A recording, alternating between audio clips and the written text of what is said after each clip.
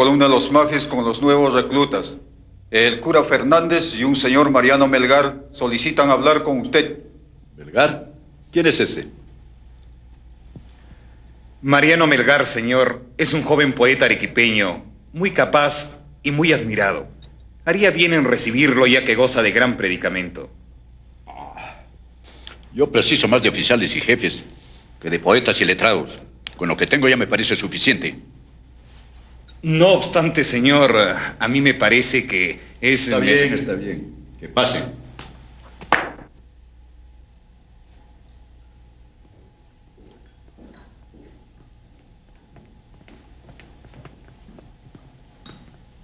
A sus órdenes, señor brigadier general. Venimos con el doctor Mariano Melgar y con la columna de los pajes. A sus órdenes, Excelencia. Señores, Es el poeta don Mariano Melgar, señor. Con que usted es poeta, ¿no? compongo algunos cuartetos y muchos yarabíes, señor. No sé si merezca ese título. ¿Qué más sabe usted además de componer versitos? Pues conozco algo de leyes y de humanidades, señor. Fui catedrático en el seminario de San Jerónimo. ¿Y sobre el arte de la guerra sabe usted algo? ¿Sabe manejar armas de fuego?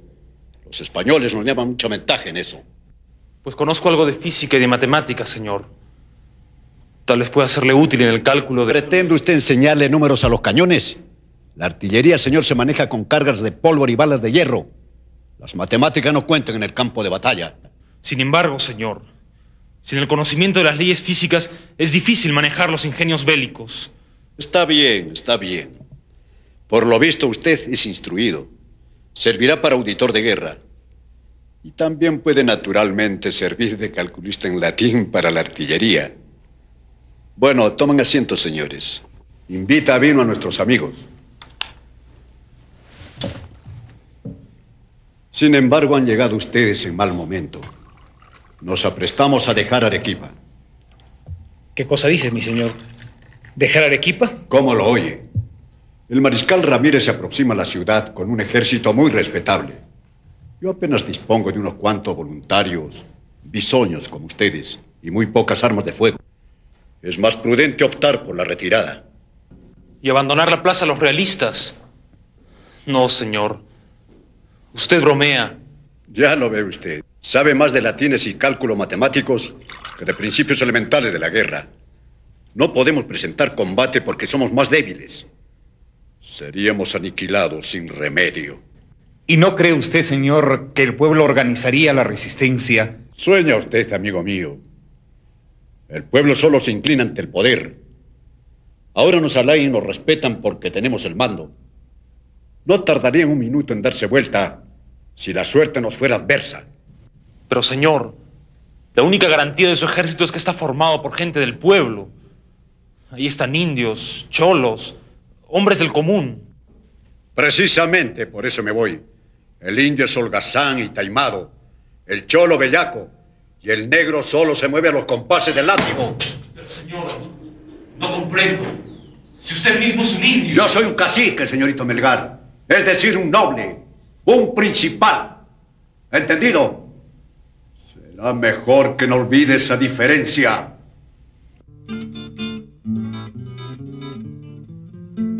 Sonó el clarín, voy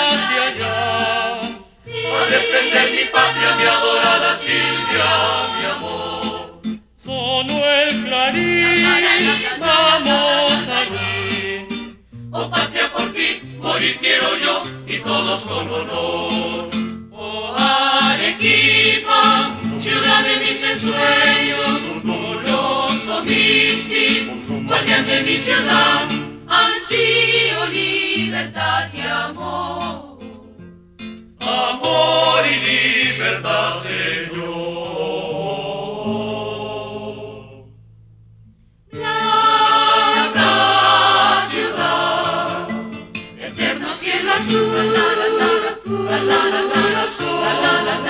Montañas de mi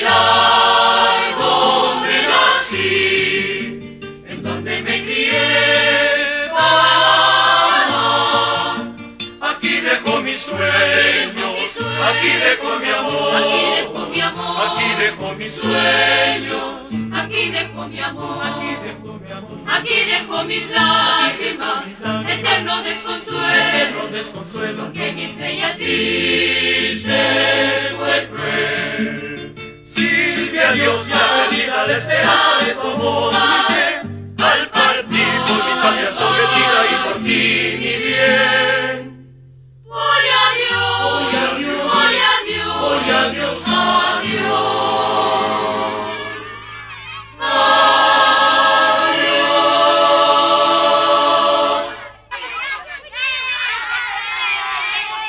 ¡Ya basta! Mejor vamos a jugar a la ejecución de Amaru. Esta vez yo seré el corregidor Areche y Pedrito será el obispo. Goyeneche será el obispo Moscoso y López de Romaña el escribano mayor. Pero ¿y quién será Tupac Amaru? ¿Quién será? ¿Quién no será?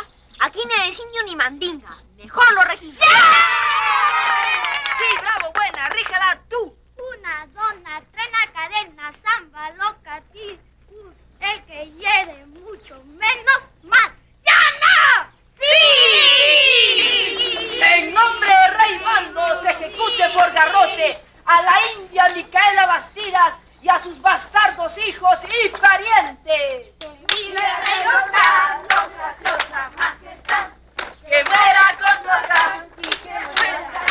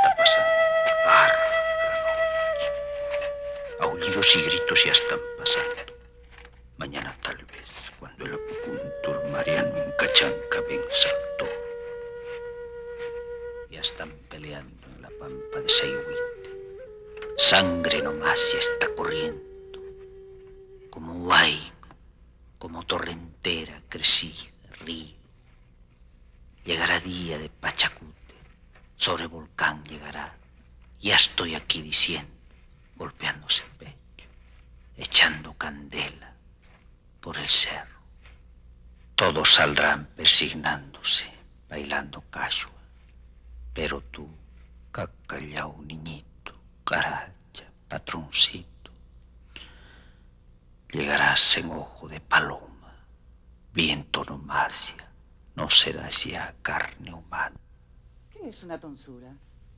¿Qué le van a hacer a Marianito? Tonsura. Es una marca de Dios.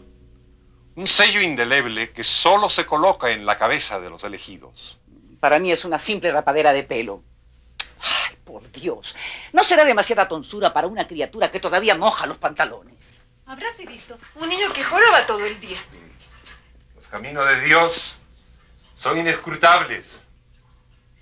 ¿Quién sabe lo que tiene destinado el Altísimo para vuestro hermano? ¿Quiénes somos nosotros para tratar de entender la voluntad divina? Pues jamás me acostumbraré a tratar de su ilustrísima a mi hijo, semejante mocoso. No exageres tanto, Andrea. Tu hijo solo va a ser tonsurado y será capellán.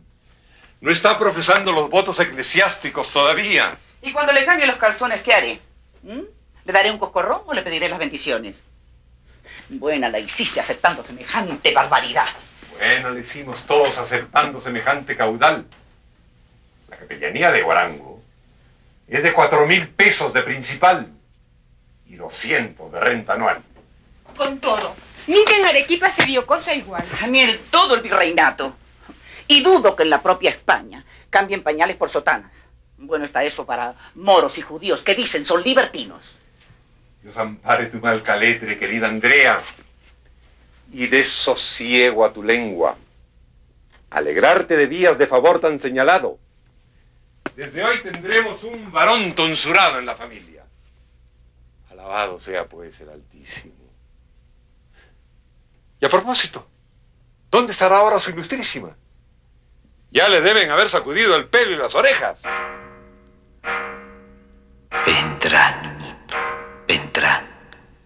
En Cusco agarraron Inca fuerte. Guaño y guaño y muerte gritando agarraron. Caballo cogiendo de sus manos, de sus pies jalando, jalando fuerte, carajo. Inca no morir. Pachacamac no morir, Incarri no morir. Nunca morí, Toribio. ¡Marianito! ¡Marianito! ¿Dónde te has metido, Caroso? Marianito, que llegaremos tarde a la iglesia. Mariano. ¡Ah! Ya te he dicho mil veces que no entres a la panadería porque te vas a llenar de piojos. Te lo he dicho. ¿Ah? Es el día más importante de tu vida y tú mezclado con esos indios. Madre, si yo no hice nada más. ¿Con qué esas tenemos, no? Pues sepa usted, caballerete, que no se reciben las tonsuras con las orejas sucias. Venga para acá. Venga para acá. Madre, si yo no quiero recibir la tonsuras. ¡Ah! Mire, lo opuesto al blasfemo. No quiere recibir las tonsuras. Pues sepa usted eh, que debía tener igual disposición para los huerequeques y para los suspiros, ¿no? Es que los dulces son los dulces y las tonsuras son las tonsuras. Ni una palabra más, que ya tiempo tendrá para ensayar latines y protestas. Y ahora, al agua. Eso es. Muy bien. Eso es. Ah, Eso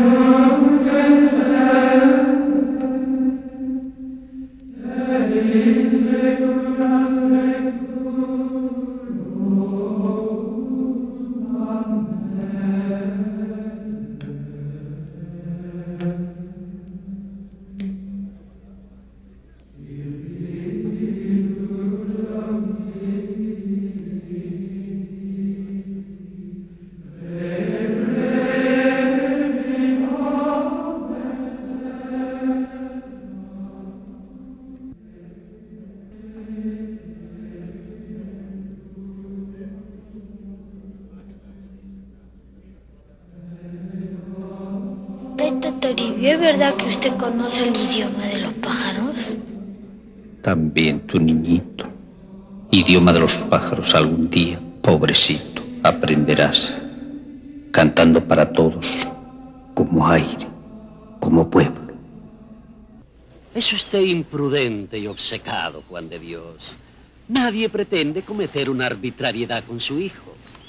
Si no hay tal, ¿por qué ha sido despojado de la colación canónica que usted mismo le impuso? Entienda usted que no es un despojo, sino un acto de justicia. Ya sabe usted que la tal capellanía no estaba vacante como equivocadamente supusimos, sino que le pertenecía a don Tadeo Bravo y Zavala, hijo del muy ilustre oidor de Lima. De tomar posesión en tales condiciones, el usurpador habría sido su hijo. Bien sabe usted, ilustrísima, que el tal señor vive en España y no precisa como yo, como nosotros quiero decir, de los cuatro mil pesos de principal y los 200 de renta. Estas cucardas son un verdadero prodigio. ¿Y a ti, mocito, te gustan las flores? Sí, soy ilustrísima. También los pájaros y el aire. Vaya, vaya, con que esas tenemos. El aspirante a curita se codea con las musas. Y si viera usted, su ilustrísima, con qué facilidad recita el latín. A ver, hijo, recito el Confiteor Deo a su ilustrísima. Hijo, complace al señor obispo. Recite el Confiteor Deo. O el credo. O las jaculatorias en latín. Anda, vamos. No apremie usted al curita, Juan de Dios. Tiempo tendrá de rezar en latín o griego clásico. Aunque más bien parece que tira para el quechua u otra lengua de gentiles. Sepa usted que nosotros somos pobres, pero de muy buena familia. No frecuentamos con indios. Para ti, mocito.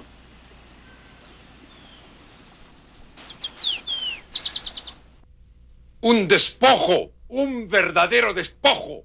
Y el mequetrefe, aceptándole flores al rabo y la voto a Dios. Por favor, Juan de Dios, que el niño tiene fiebre. Basta ya de tanta gerentina y reclamación. Si el obispo quiere, santo y bueno. Si no, albricias y a buen seguir. Ah, mujeres, mujeres. Basta que el proditor sea un purpurado para que lo negro sea blanco, o cuando menos ceniza.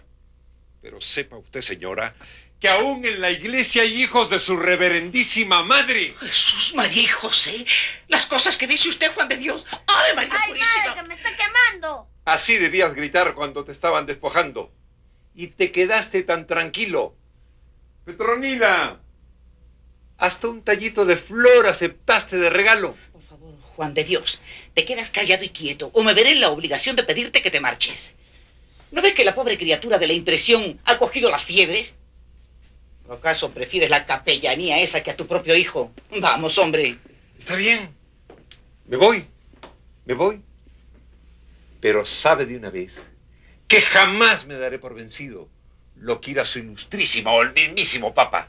Esa capellanía será de nuestro hijo o no será de nadie. Así tenga que revolver todas las malditas escribanías de Arequipa buscando el acta de fundación.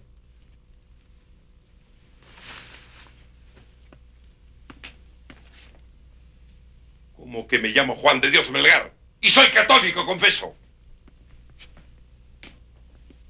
Ay, mijito. ¿Se siente mejor ahora? ¿Le están aliviando las ventosas? ¿Mm?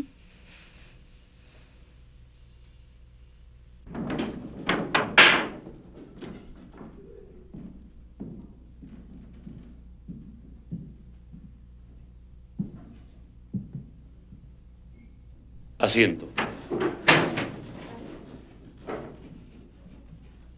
A ver, usted, Melgar, enseñe a estos señoritos cómo se reza en latín. In nomine Patri et Filii et Spiritus Sancti. Amén. Pater Deum omnipotente.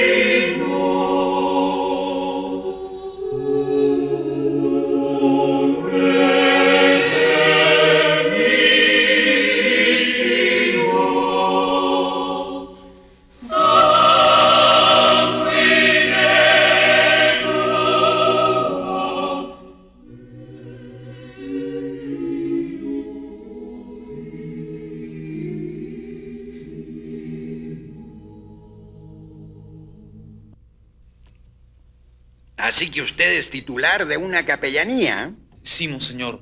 Situada en el Valle de Majes y socorrida con 200 pesos de renta anual y 4 mil pesos de principal. Y resulta que hasta el presente no ha podido obtener el goce de ese beneficio.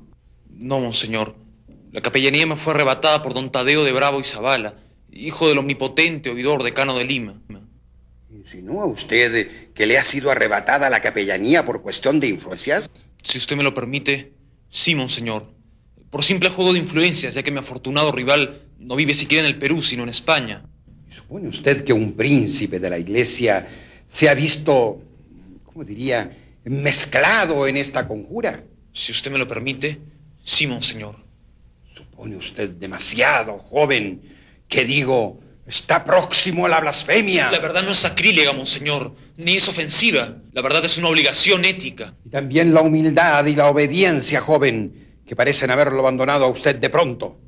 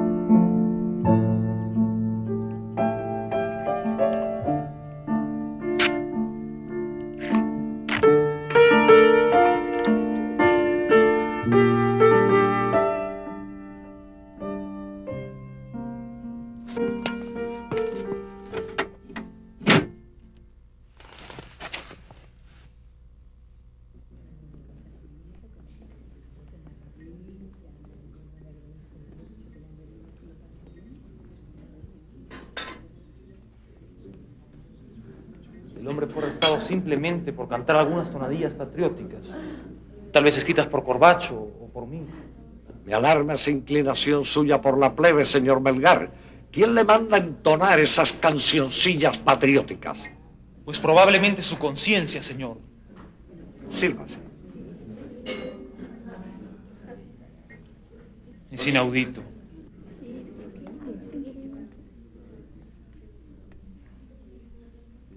Le estaba diciendo al señor Melgar, hijita, que los artistas deben celebrar solamente la belleza.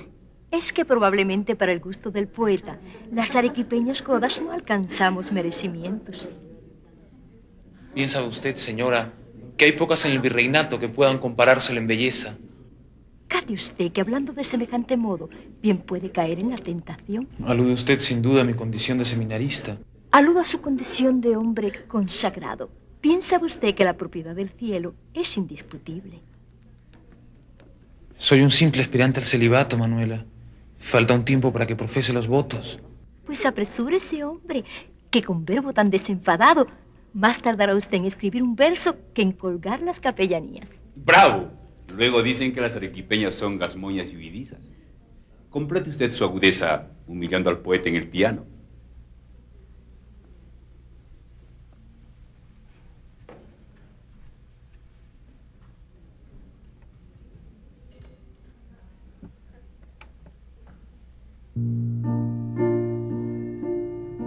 Así que piensa usted abandonarnos, Melgar. Dios me libre, señora. ¿Por qué dice usted eso? Pues por sus inclinaciones hacia el populacho. ¿Qué? ¿Las cholas de picantería son más apreciables que las señoritas? Señora, yo... Por Dios, Manuela, ¿quién se ha atrevido a decirle? Un pajarito, Melgar, un pajarito. ¿Piensa usted que en Arequipa las noticias vuelan?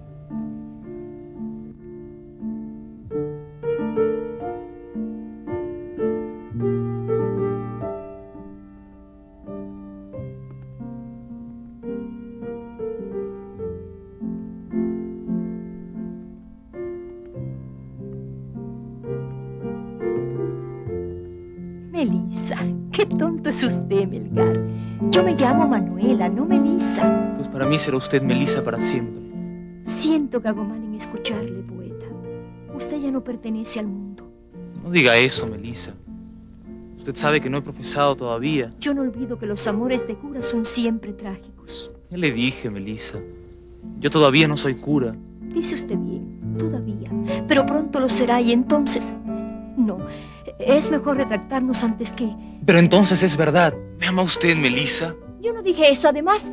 Yo me llamo Manuela y no Melissa. Melisa, Melisa, usted no comprende. ¿Qué es usted, por Dios, qué atrevimiento? Yo no pensé, señor, que usted...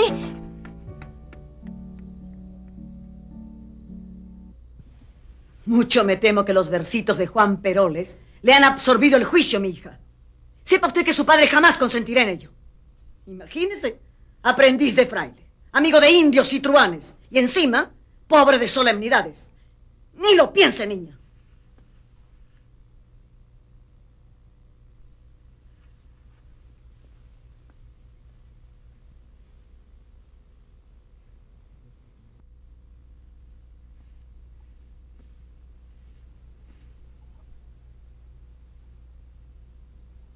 Pero madre, yo no dije que él fuera. Además, media Arequipa repite sus versos y hasta mi padre lo tiene en gran estima. Dice que por su talento y su honradez. Una cosa es apreciar a un hombre por su inteligencia y otra muy diferente tenerlo por yerno. Imagínese, hijo de un menestral enloquecido y encima fraile de tonsura. Pues sepa usted que todavía no es fraile. En cuanto a la pobreza, es momentánea y no acarrea infamia a quien la sufre. Al contrario. Pues ni lo piense. Una hija de Mariano Paredes y Rosa Guillén solo puede desposarse con un principal. No en vano se nace en cuna de oro para que un aventurero se lleve las comuniones.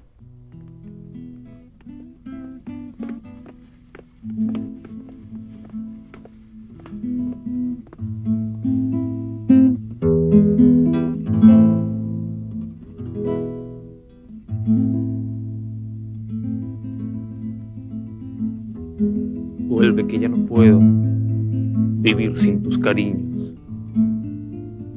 Vuelve mi palomita. Vuelve a tu dulce nido.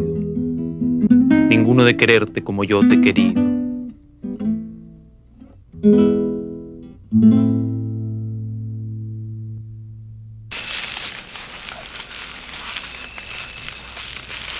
Me fatiga usted con sus insinuaciones. Yo no maté a Tupac Amaru. Lo mató la fatalidad. La superioridad de los godos. ¿Qué sé yo? Nadie puede culpar a Pumacahua de traidor. Y ahora déjese de filosofías y vamos al asunto. Lo mandé llamar para que redacte una proclama al pueblo de Arequipa. ¿Una proclama al pueblo? ¿Cómo lo oye? Una proclama al pueblo anunciándole la deposición y captura del virrey y la caída de Lima. Pero eso es falso, señor brigadier general. Confirmada por la captura de un propio comparte de guerra por los hombres de José Angulo. Eso es imposible, señor. José Angulo... Y ordenando que se echen al vuelo las campanas, que haya salva de victorias y el pueblo participe de las celebraciones. Pero eso es falso, señor. Yo no... Usted hará lo que se le ordene, joven imberbe. Para eso es auditor de guerra y está bajo mis órdenes. Señor, tu pajamaru habría... Me importa un cuerno lo que habría hecho tu pajamaru.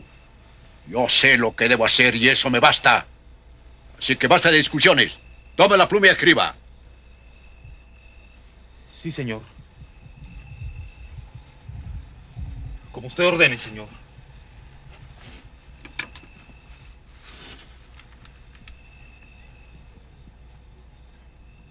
Papo, a los 30 días del mes de noviembre de 1814, a los ciudadanos de Arequipa,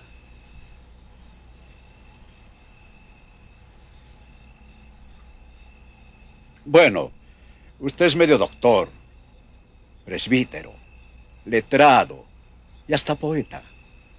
Así que redacte la proclama y no se haga melindres. No se puede redactar bien lo que no siente, señor. Esas son majaderías de poeta, señorito Melgar, no de un guerrero. Déjese de ensoñaciones y llame en su ayuda a las musas prácticas. Las musas no se prestan engaños entre triquiñuelas, señor. Si no ganamos al enemigo en el combate, no pretendamos hacerlo en el papel. Palabras, nada más que palabras. Tal vez hubiese preferido un sargento de pocas luces y mucho empeño como auditor de guerra y no un bardo moralista. Bardo moralista. Lo que usted necesita, señor, es una ordenanza, no un auditor. Y lo que usted necesita es discreción y experiencia. Su Excelencia, el señor Mariscal de Campo, don Juan Ramírez Llorosco, comandante en jefe de los ejércitos del rey. Honor al vencedor del Alto Perú y hoy de Arequipa. Bienvenidos seáis a esta modesta casa de leales súbditos de su majestad. Honor a tan distinguido anfitrión, a tan digna dama y a flor tan afortunada de esta muy noble casa de leales. Don Miguel de Tristán, don Fernando Rey de Castro, don Manuel Moscoso y Peralta, don Hermenegildo Barreda y Gambio, don José María Somocurcio y Vargas, don Juan José Menó y Gómez Sánchez. Su ilustrísima, que la paz del Señor le sea otorgada al guerrero victorioso. Dispense que no me haya acercado a recibirlo debido a esta inhumana gota que me aflige. Restituir los fueros de la corona es restituir los fueros de la iglesia a su ilustrísima. Me siento halagado al volver a saludaros.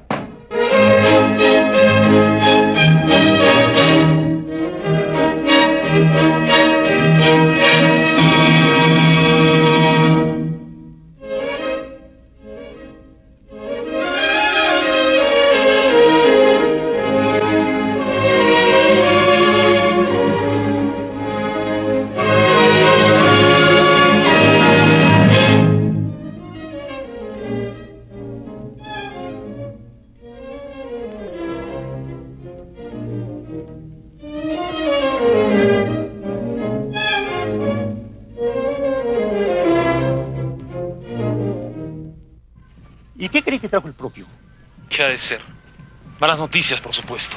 Ramírez no ha de ser tan tonto como para caer en un lazo tan ingenuo. De seguro yo he entrado al equipo. Y sin resistencia alguna. Curioso destino el suyo. Tiene usted talento, Melgar, y parece más hecho para el salón mundano que para la campaña guerrera. Sin embargo, ya soy auditor de guerra. Y estoy a punto de envejecer de súbito.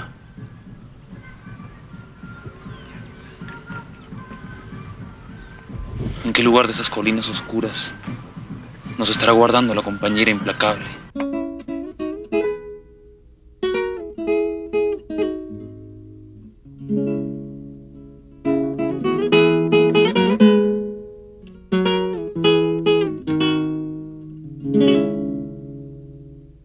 todo mi afecto puse una ingrata. Y ella inconstante me llegó a olvidar. Y ella inconstante me llegó a olvidar.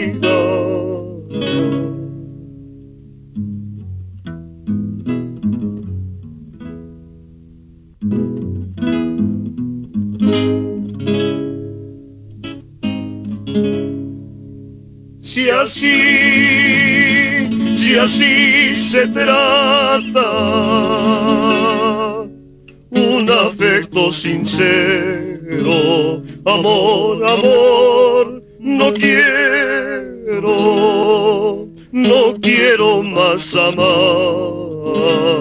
amor, amor, no quiero, no quiero más amar. ¿Tiene conocimiento de este libelo, Melgar? Sí, monseñor.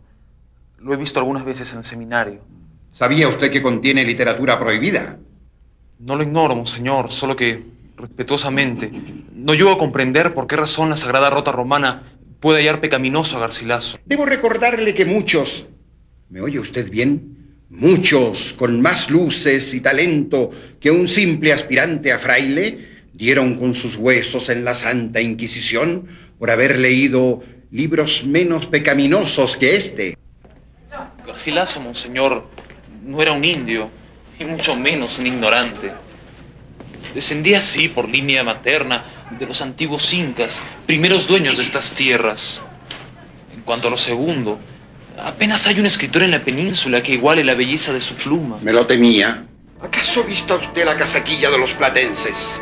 Señor, espíritu racional no tiene por qué estar reñido con la religión. Yo pretendo encontrar el sustento material de la fe. El Creador es infinitamente sabio y estoy seguro que no le incomoda el raciocinio. Habla usted como si el diablo le dictara las palabras. Yo soy más práctico y conciso. Para mí, lo que está permitido por la iglesia es lícito y lo que no lo está es abominable. A usted no lo molesta Garcilaso, monseñor, sino el hecho de encontrar en el seminario, es decir, en el interior de su propia casa, lo que usted considera un brote subversivo. Las palabras del Inca son un mero pretexto. En suma, es usted un revolucionario, un insurgente. Y muy pronto no será posible que continuemos el diálogo. Monseñor, considere usted este diálogo como una confesión. No se preocupe, Milgar. Yo soy obispo y godo, pero no soy un pesquisa. En cuanto a lo otro, sería inútil, porque la confesión supone el propósito de enmienda y usted no solo prevalecerá,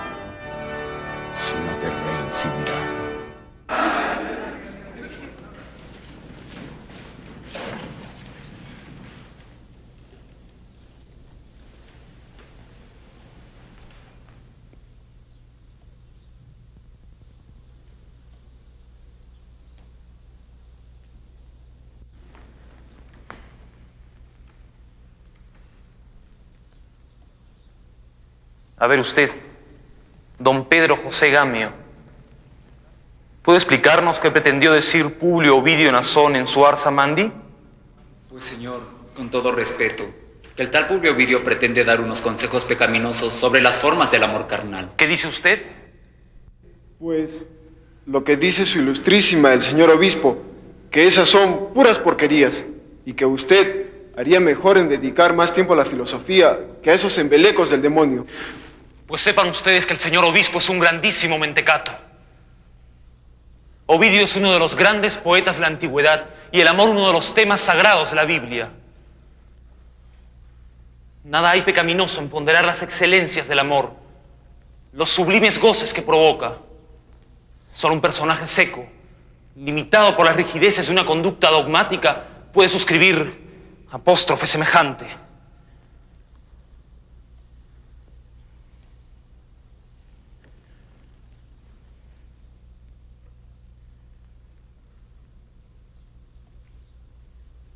El amor es la esencia misma de Dios, el alma del universo. Por el amor, la humanidad fue redimida del pecado y a este ejercicio sagrado y ritual debe la perpetuación de la especie. El amor es parte fundamental de la vida y nada que responda al orden natural puede ser impuro ni pecaminoso.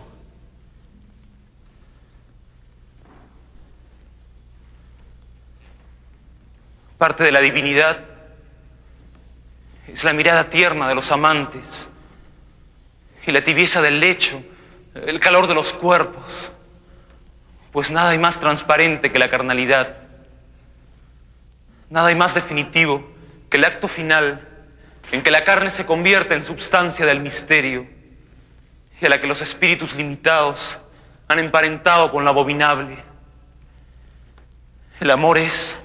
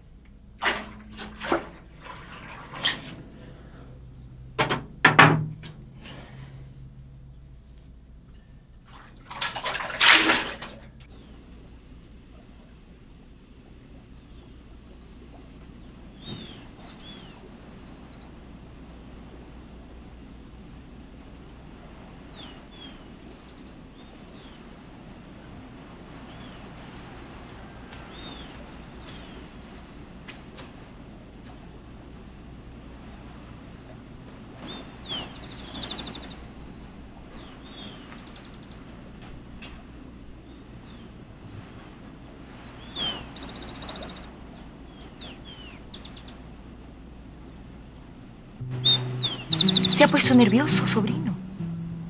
¿En quién ha estado pensando? yo, pues en nadie. Solo iba... Ya sé, solo ibas mirando el juego de tus primos, ¿verdad? Tal vez te retengo a disgusto. ¿Qué cosas dice, tía? Si yo no pensaba en nadie. Además, ¿qué importa lo que pueda pensar un pobre aspirante a cura? Aspirante sí, pero pobre no. Que tienes más talento que todos los bobalicones de tus primos juntos. Y la verdad, Sí, tía. que dudo mucho que tengas alguna vocación para el sacerdocio. Ya lo sé, tía. Pero el caso es que mi padre se ha empeñado. También lo sé, como un mulo. Para el pobre tú eres la culminación de sus afanes. Pero ¿y tú? ¿Crees acaso que podrás aguantar toda una vida las imposiciones del celibato? Te he visto haciéndole carantoñas a las niñas. Que no, tía. Yo... Que sí, picaronazo. Primero a la caroza de la Manuela Paredes. Y luego a la Santos, a mi propia hija. Pero tía, usted está equivocada. Yo... ¿Qué equivocada ni ocho cuartos? Tú le andas rondando el mírame que me caigo con más entusiasmo que un marinero. Y que la muy ladina no le hace requilorios al muestreo. ¿Adivino o no adivino? Pues no sé, tía. No niego que Silvia me agrade, pero... Silvia, Yo le digo Silvia, aunque sea María de los Santos. Usted comprende. Caprichos de poeta. que si comprendo. ¿Y de qué manera? Poeta, a propósito, ¿por qué no cantamos tu último Yarabí? ¿Cómo no, tía?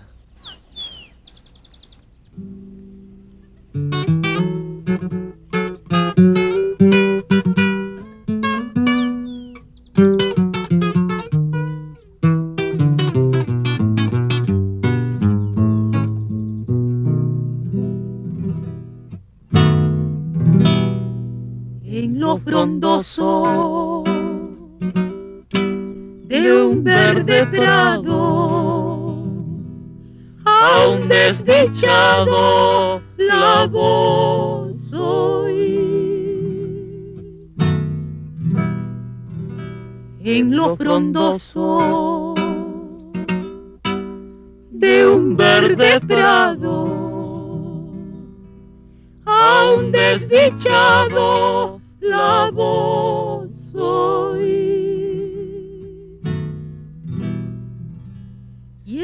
Entre sus ayes y sus lamentos, con dulce acento cantaba así.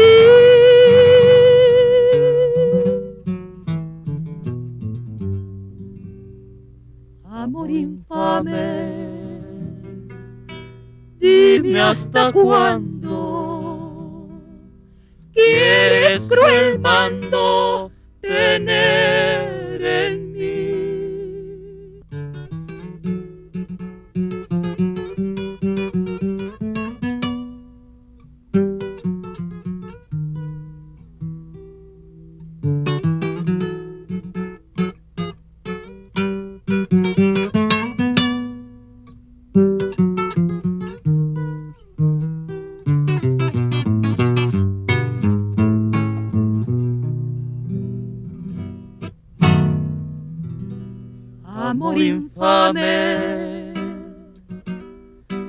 dime hasta cuándo quieres cruel mando tener en mí.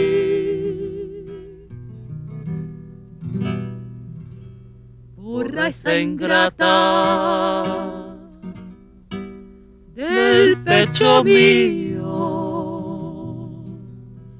No más impío me hagas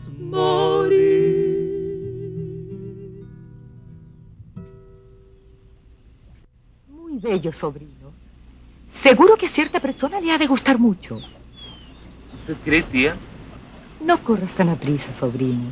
Las cosas son como Dios las dispone. Pero tía, ¿usted cree que mi señor tío, si llega el caso, digo, es un decido, otorgaría su consentimiento? Pues mucho corres, sobrino. Por ahora debes pensar en despabilarte de la sotana. Pensar en ser un abogado o un físico o algo de provecho, que después ya veremos. Claro, tía. No sabe cuánto me alegra saberlo. Y ahora vete, que tu Silvia hace rato que te está esperando. Hace un friecillo. Debo haber cogido los aires. Llama a tus primos para comer. Prima. Prima. ¿Qué quiere usted? Que quiero hablarle, Silvia. Silvia. Ya le dije que no me llamo Silvia, sino María de los Santos. Pues para mí será siempre Silvia. Mejor porque no le pone remoquetes a la Manuela Paredes. Bien sabe que Manuela no es rival para usted. Rival, no me haga reír. Además, cuento con una bondadosa aliada. Aliada, ha dicho. Y se puede saber quién pretende postularse de alcahueta. ¿Qué lenguaje es ese, niña? Pues cate a ver, ni más ni menos que su señora madre. Jesús María, pero qué cosas dice usted, don Juan Peroles. Mi mamaíta con esas cosas. ¿Cómo lo escucha? Pues no lo creo. Mi mamaíta es más discreta que un fraile. Con el perdón de usted. Pues no conseguirá irritarme. Que la mañana es demasiado hermosa para desperdiciarla con rencillas. Claro, que no soy demasiado buena para que el señor cura se moleste conmigo, ¿no? Écheselas de santo. Y usted es feligresa. Silvia. Silvia. Pues no, y mil veces no.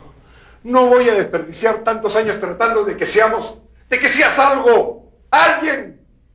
Para que así nomás como quien pierde un naipe, decidas colgar la sotana. Pero padre, es que no tengo vocación. He tratado de ser cura por usted, pero es inútil. No puedo. Pero ¿por qué si se puede saber? Hasta ayer nomás era usted doctor en latines. Sabía más historia sagrada que el dian pajuelo. Parecía vivir en olor de santidad, siempre mirando al cielo. ¿Y ahora? Señor, ahora he meditado. Hmm, ya sé que anda usted en escarceos con alguna zagaleja. Señor, yo... Claro, que hay meneallo en el bajín del señorito. Debí suponerlo.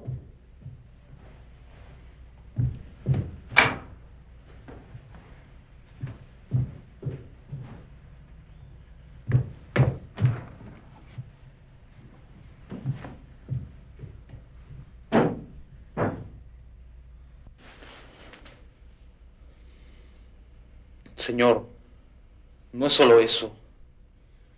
¿Y qué ha de ser de la colación canónica si ahora reniega de los votos? ¿Quién ha de conseguir la reclamación si abandona la tonsura? Señor, uno ha de ser cura por vocación, no por necesidad. ¿Quién le ha llenado el caletre con esos razonamientos? Mi hijo convertido en masón y hereje, este que parecía ser el mejor de todos.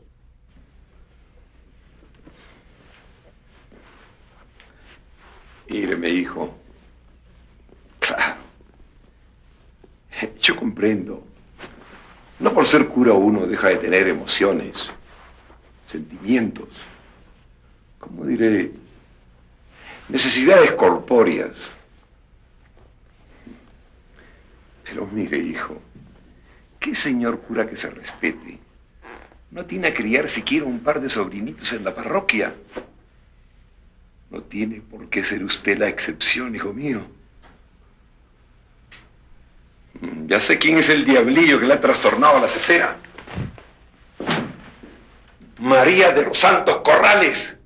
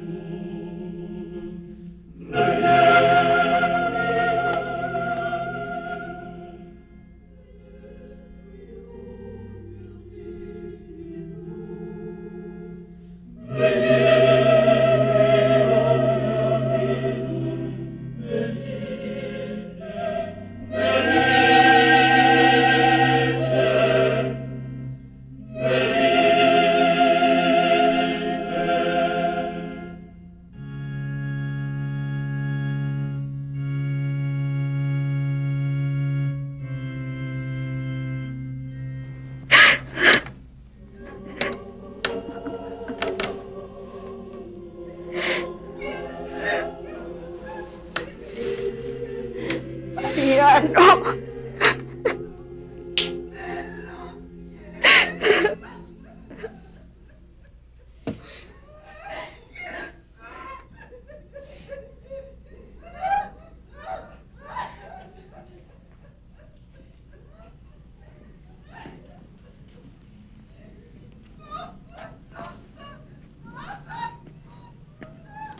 Comprendo, sobrino, que no es la ocasión más propicia para hablar de estos asuntos.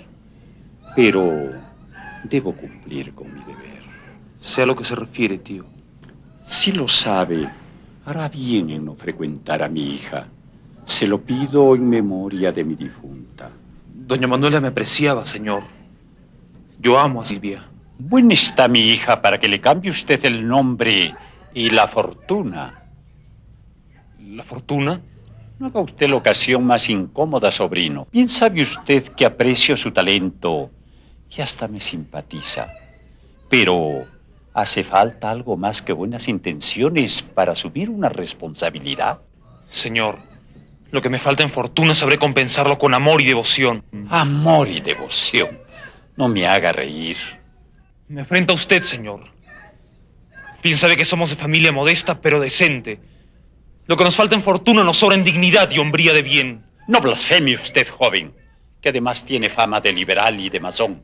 Si usted lo permite, señor, hablaré con Silvia sobre esto. ¡Qué atrevimiento, joven! Usted no hablará con nadie. Y mejorará en no frecuentar a mi hija.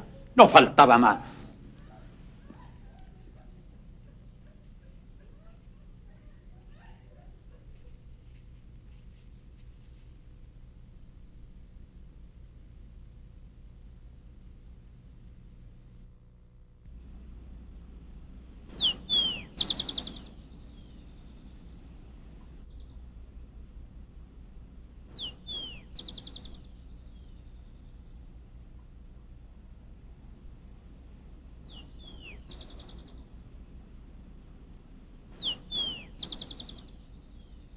Qué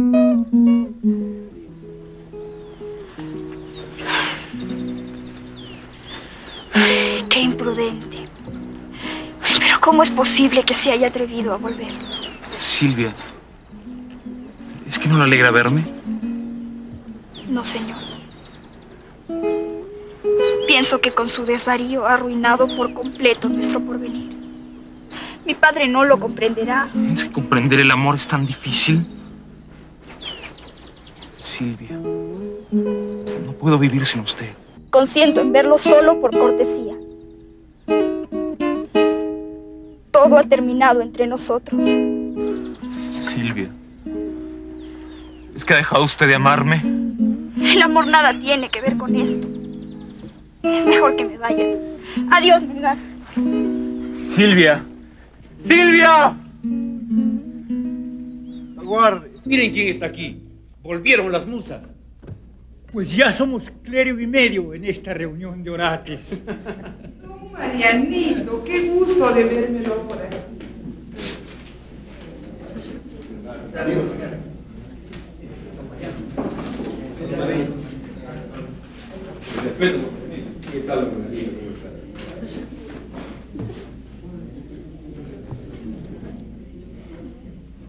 Ánimo, Melgar. Ya se he oído sordo de las chanzas. Que de veras nos alegra veros.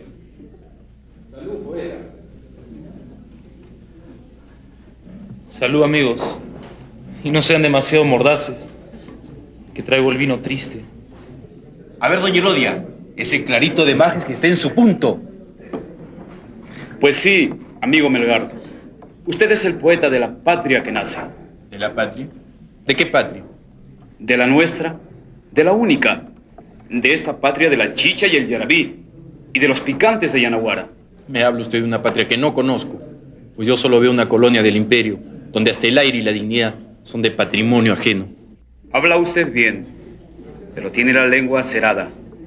Quiere tendernos un lazo para que los carlistas tiren de la cuerda, pero se equivoca. Porque Francisco de Paula Quirós ya conquistó el derecho a ser libre. ¿Lo conquistó? ¿Con discursitos en la plaza tal vez? ¿O con sermones en el púlpito? No, ilustrísimo señor. La patria solo puede amanecer en la bayoneta de los bravos. Olvide usted a Baquíjano. Los tiempos han cambiado y todavía podemos integrarnos a una patria grande.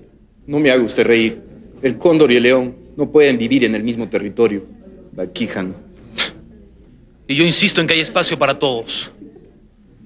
El nuevo derecho de ser conquista esencial del espíritu. La razón nos asiste. No en vano es usted el poeta de los sollozos. Al opresor solo el puño en alto y la bayoneta calada. Tiene que haber un camino distinto al de Tupac Amaru. Un camino más cristiano. Sí. El camino de la ley.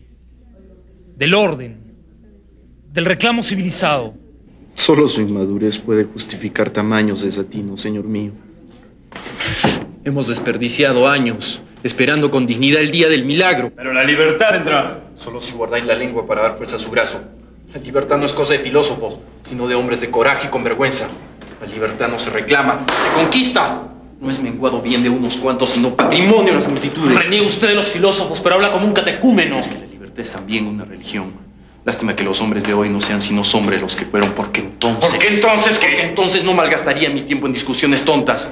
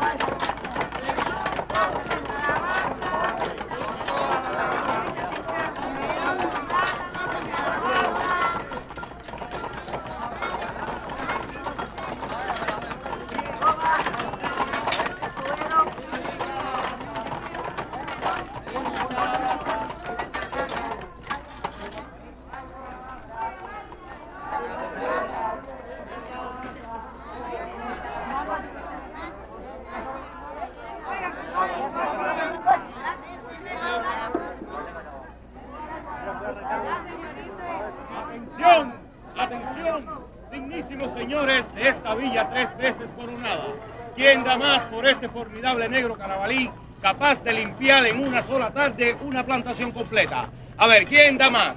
¿Quién da más? 20 ¿Quién? pesos. 20 pesos, mi señor. Por este magnífico portento, capaz de preñar a todas las negras matundas de Cañete y Saña. A ver, ¿quién da más? ¿Quién da más? ¿Quién da más? 25 pesos, mi señor. Tenga por seguro que es lo mejor que se ha traído de la Martinica. A ver, ¿quién da más? ¿Quién da más? ¿Quién da más? Es usted, don Mariano Melgar y Valdivieso, ¿no? Sí, su señoría. Tiene usted un excelente currículum. ¿Fue usted el que pronunció el elogio de Baquíjaro en Arequipa? Tuve ese privilegio, señor. Liberal, pero reflexivo. Tanto como procuro serlo, señor. ¿No conoce usted a Mariano José de Arce y José María Corbacho? Me precio de su amistad, señor. Animamos a tertulia literaria de Arequipa.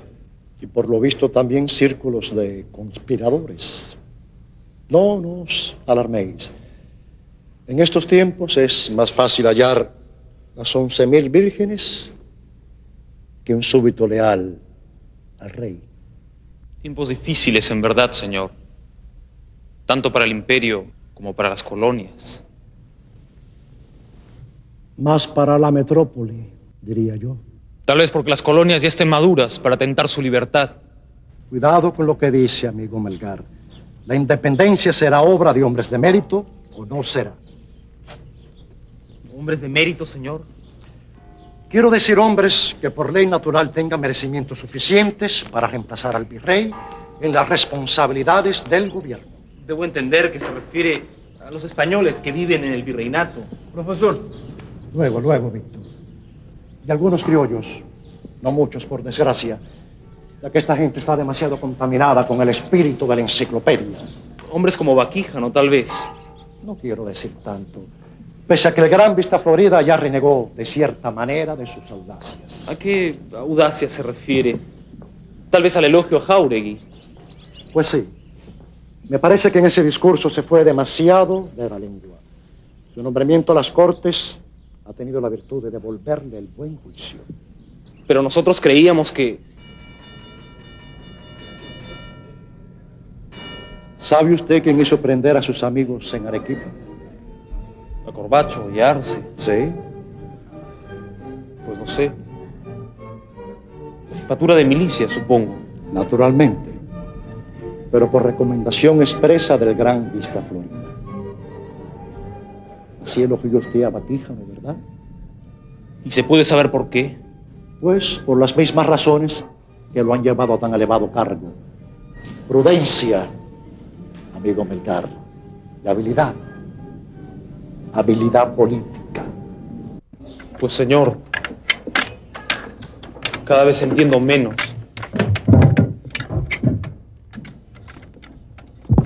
Es muy fácil. Los espíritus iconoclastas le hacen más daño a la revolución que un batallón de godos. Los espíritus iconoclastas. Pero es que también usted piensa así.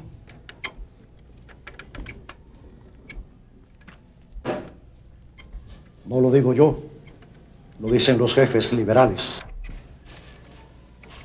¿Y se puede saber a qué se debió el honor de que me excluyeran de la redada?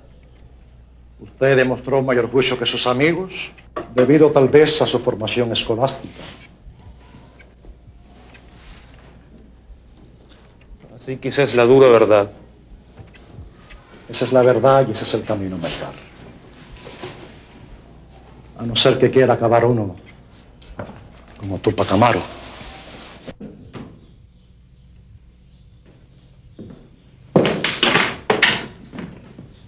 Qué estás haciendo, hombre de Dios, si se puede saber? Pues ya ves, me voy. Pero no puede ser, justo ahora que tu trabajo ha salido publicado. Mira, hombre, mira, si ya eres célebre. Ya tengo bastante. Lo que vine a saber ya lo aprendí. Y ahora me voy.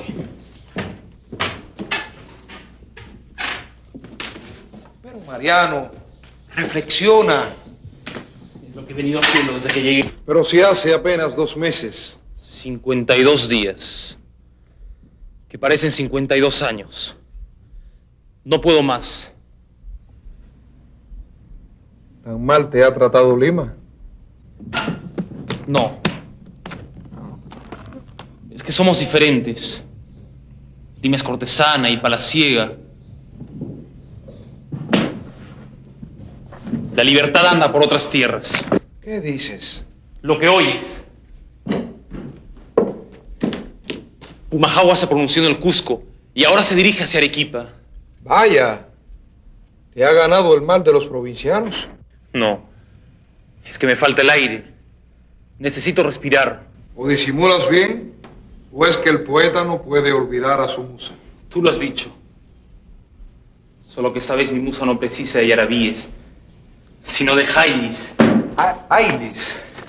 Jailis. Jailis. Olvidaba que ustedes los limeños no comprenden nuestra lengua. Jailis. Cantos de combate y de victoria.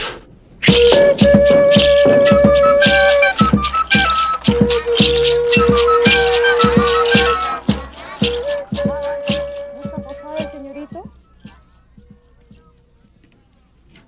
Este es el pago de Guarango, ¿verdad? Pues sí, señorito, para lo que usted mande. Pues entonces, yo soy el capellán de esta parroquia. Pues la verdad, señorito, si usted lo dice.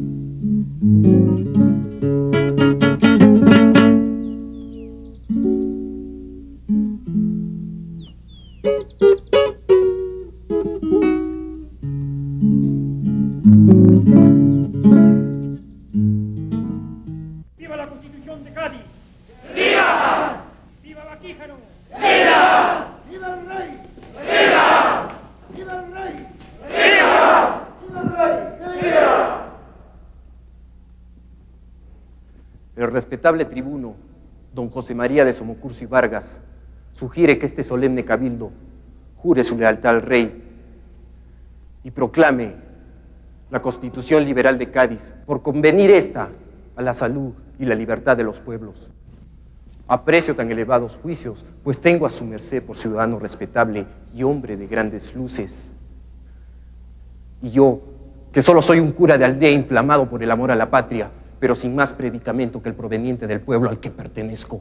No cabe, pues, contradicción razonable a los juiciosos términos de tan elevado representante.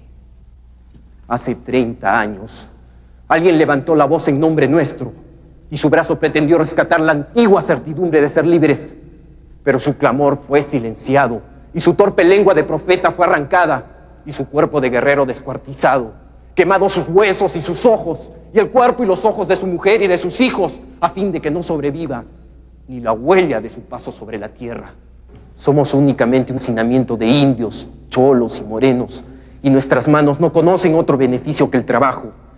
Y es nuestra flaqueza la que alimenta los campos, la que pasa el ganado y mueve la muela de las minas y los corregimientos. No tenemos modales y hablamos entre nosotros una lengua de bárbaros y alegramos nuestra miseria con cánticos de la gentilidad. Y hasta casi no parecemos hombres, porque solo hemos conocido la servidumbre y nuestra voz es áspera y apestamos a coca y inmundicias. Pero así y todo, sin mayor certidumbre en el porvenir, porque no lo tenemos. Yo propongo votar por la reparación, por hacer un país de gentes sencillas y bárbaras, pero libres, y agradecer a tan ilustre ciudadano y por su intermedio al rey su buena voluntad para seguir disponiendo de nuestro país y nuestras vidas a cambio de su protección civilizada, pero tentar el camino de la independencia sin otra tutoría que nuestra soberana voluntad. Lea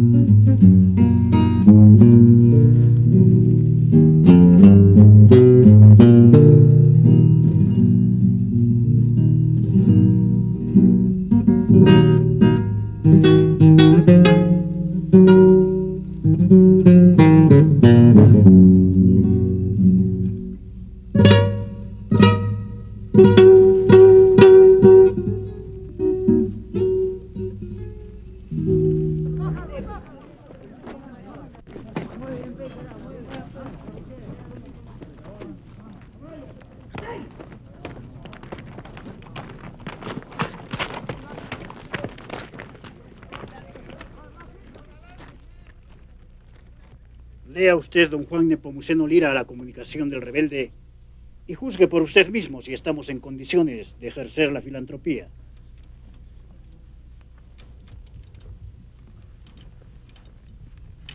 Señores, Pumacagua se muestra generoso con nosotros y nos ofrece una paz negociada. Alega que podemos convivir fraternalmente en país tan grande y generoso, con la única condición de jurar la independencia y romper los vínculos con la metrópoli.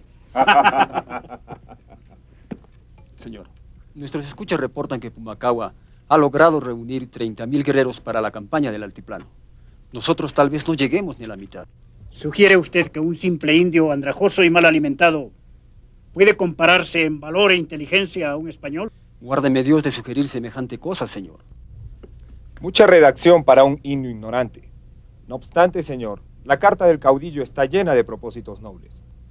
¿Quién le habrá llevado la pluma? Seguramente el poeta Melgar, señor.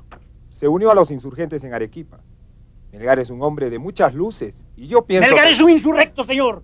Es decir, un traidor, un enemigo del rey y un renegado.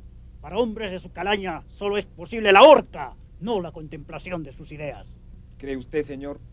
¿Cree usted que sea realmente imposible convivir en paz?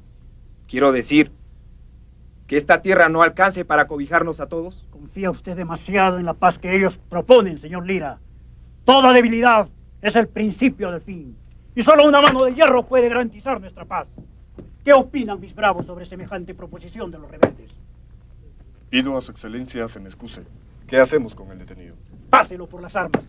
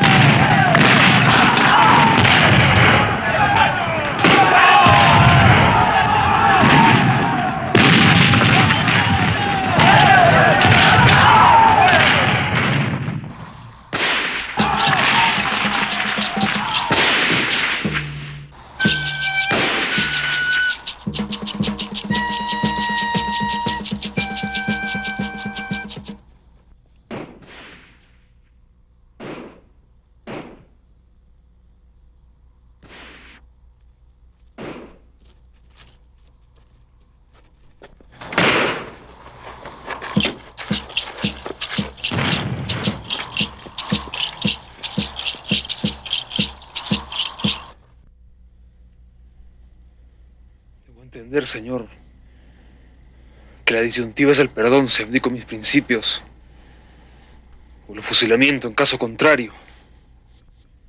Así es, señor.